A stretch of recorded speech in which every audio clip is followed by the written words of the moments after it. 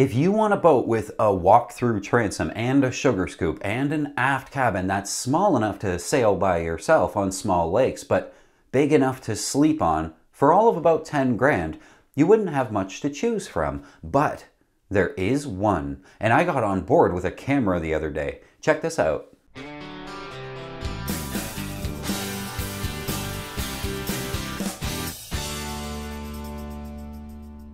The perfect family sailboat doesn't really exist because every boat, as we know, is a compromise. But this boat does just about everything a small family might need very, very well. It's small, so you can sail it by yourself or with your kid. It's also a shallow draft and short enough to keep the marina costs way down with a total length of 26 and a half feet. She'll fit just about anywhere there's a dock to tie her to.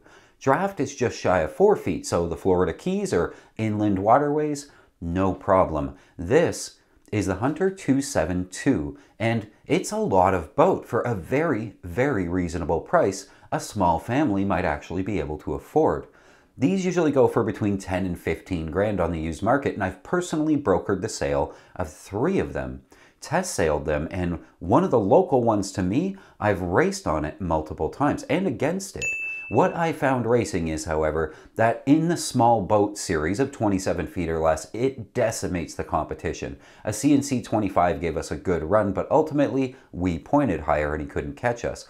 But if you race it against the big boats, it just can't keep up. It's somewhere in its own middle class anyway. This is the $10,000 Hunter 272. They made these from 1989 to the mid 90s, and the one here today is the first year for this boat. At 5,000 pounds, it's light and agile, but more importantly, towable. A lot of these came with a trailer and you'd be fine towing it behind your three quarter ton. Depending on the weight of your trailer, you might even be okay with a half ton F-150 too.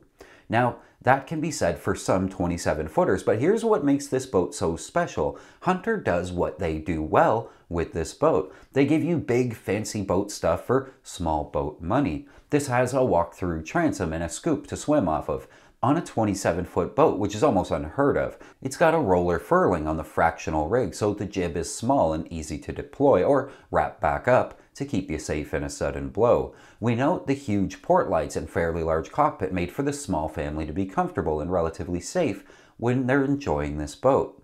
We get wheel steering so the kids won't have to learn that the rudder always steers backwards to what they expect to happen.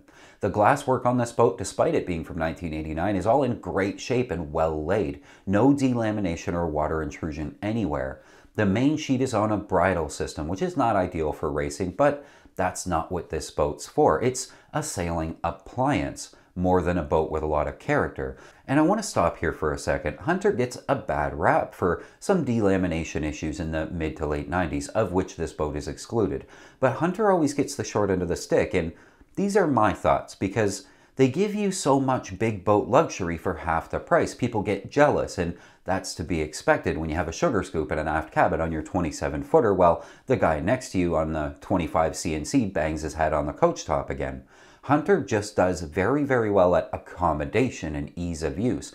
It's a sailing appliance. It's not meant to cross the ocean or trample on an Olson 30 around the marks. It's designed specifically to make your kids smile, to swim off the back at the local swimming hole, to barbecue hot dog, sip a cold one with the fam jam, and then sail it home and stick it back in the slip at the end of the day, ready for the next long weekend. That's its job, and it's very, very good at it. That's why people love these things and they sell so well.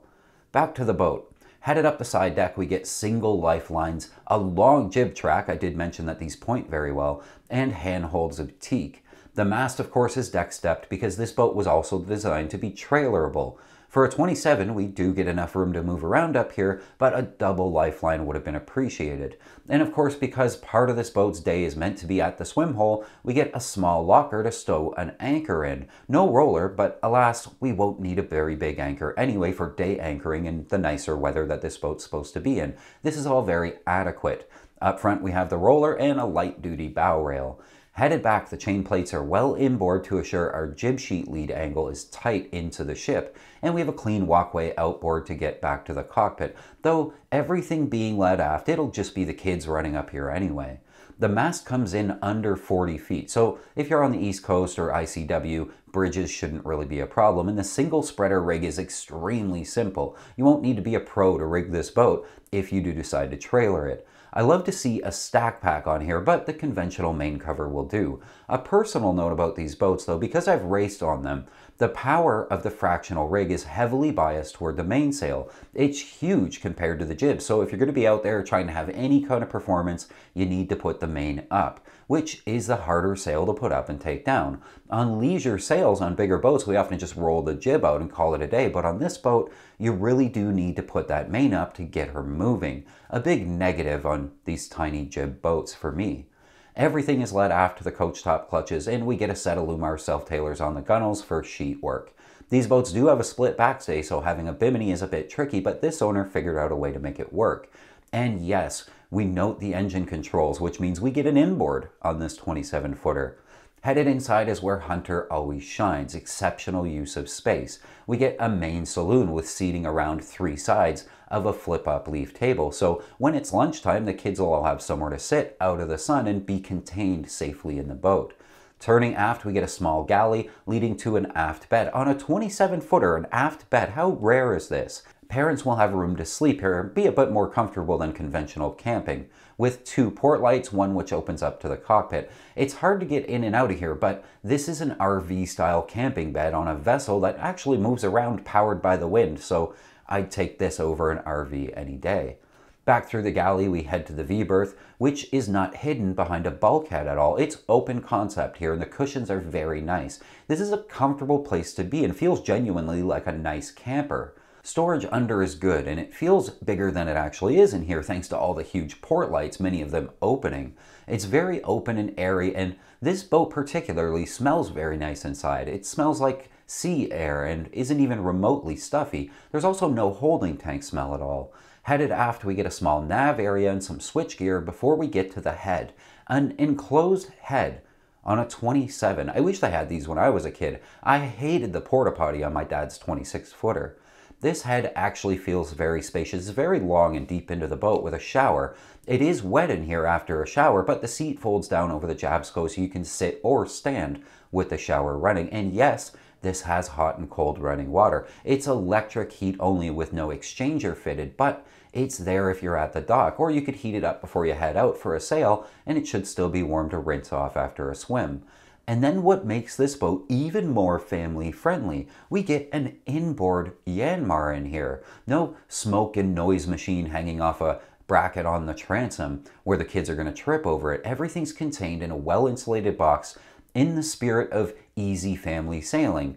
You hit the key and she starts just like the family SUV you used to haul the kids with. It's clean and quiet and out of the way. Just remember to check the oil before you use it.